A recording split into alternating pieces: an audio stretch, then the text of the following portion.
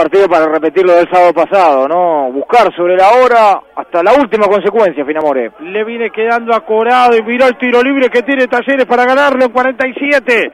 47 de 48, un tiro libre que si lo saben aprovechar, se lleva los tres puntos Talleres para escalada y aparte la punta. Precioso, valioso sobre la hora, aprovecharlo otra vez. Bueno, tendrá que ser astuto y jugar Talleres la ficha correcta. A ver si lo gana en una de esas. 47 de 48, tiro libre para Talleres. Le va quedando un minuto a esta historia. Uno a uno el, el goleador Gastón Colado de cabeza. Daniel Córdoba, el tanto para Argentino de Merlo.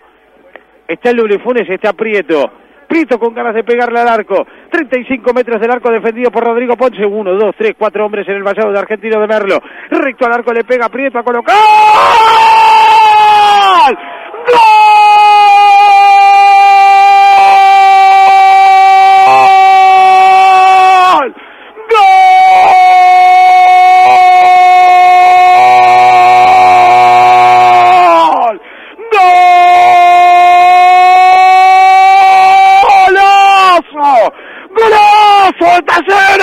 En la guarida del partido, Sebastián Prieto de tiro libre, la canchó de zurda, le metió tiza al botín zurdo a 35 metros del arco defendido por Rodrigo Ponce, el vallado que se ubicaba con cuatro hombres y Talleres que lo quería ganar en la guarida del partido, quería imitar lo hecho en la fecha pasada contra Midland, Prieto que le pegó, Prieto que le pegó con alma y vida y yo también te lo grito con alma y vida para colarla contra la base del palo zurdo de Ponce que no tuvo nada que hacer.